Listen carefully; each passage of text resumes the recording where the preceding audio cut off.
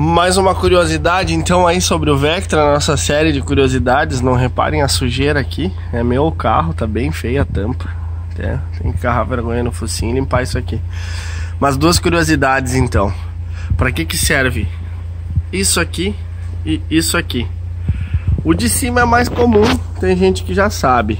Para os Vectras até 99, a tampa tem essa presilha e serve para que o frentista faça isso. Não largue a tampa em cima do carro que nem eles costumam fazer. Então, essa aqui é, é mais fácil. Tem gente que costuma saber já. Mas esse outro suportezinho aqui, tem gente que não sabe. Eu também até pouco tempo não sabia. Uh, o Jean acabou descobrindo aí através de uns contatos que a gente tem para compra de peças. Esse suportezinho serve para guardar este item aqui, ó. Este item ficaria guardado aqui. Uh, e para que, que serve este item? Este item é feito para tirar aqui as tampinhas de ventil, ó. Sem sujar as mãos. O meu tá com uma tampinha modificada, mas mesmo assim funciona, ó.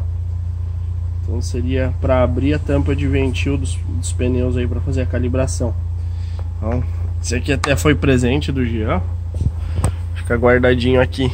Veio de fora do país. Tem aqui o logo da. Deixa eu ver se eu consigo focar aqui. Ó, tem o logo da Opel e do outro lado o logo da Vauxhall. Não sabemos se chegou a existir isso aqui no Brasil. Presumo que não, tá? Que só lá fora mesmo. Mas então fica aí mais uma curiosidade do do Vectra aí, né? Então, suporte para tampa nos até 99. Por que, que depois não funciona esse suporte? A tampa sofreu uma atualização, passa a ter uma válvula, essa tampa não tem válvula. Daí ela já não encaixa mais aqui. Então só até o 99 essa tampa encaixa. Mas o suporte continua existindo depois. E esse suportezinho todos eles têm.